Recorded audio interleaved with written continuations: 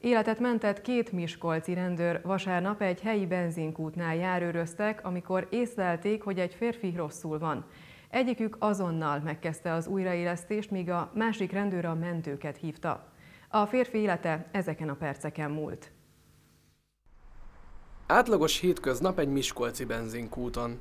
Vasárnap ugyanitt járőrözött Lakatos Roland és társa Tóth Ivet, amikor szokványos munkanapjuk egyszer csak drámai fordulatot vett. A kút kezelője az részem, részünkre jelezte, hogy egy férfi személy az ennél a lévő kútnál állt egy fehér teherautó, és abban van egy személy, aki rosszul van. Lakatos Roland nem tétlenkedett. Amikor érezte, hogy a férfinek nincs pulzusa, rögtön megkezdte az újraélesztést. Mondtam a férfi személynek, aki vele volt, hogy emeljük ki az autóból, mert nem mutat életjelet, meg fogom kezdeni az újraélesztését.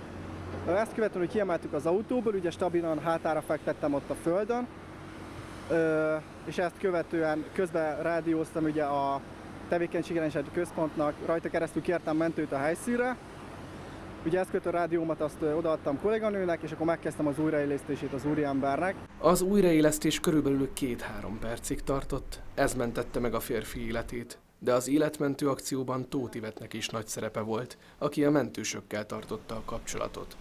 Az eset mindkettőjük számára emlékezetes marad. Én maximálisan nagyon büszke vagyok a kollégámra, én azt szeretném, hogy mindenkinek ilyen társa legyen, mint ő, mert tényleg ez fú, el, szavakban nem lehet önteni, hogy milyen tett volt ez részéről.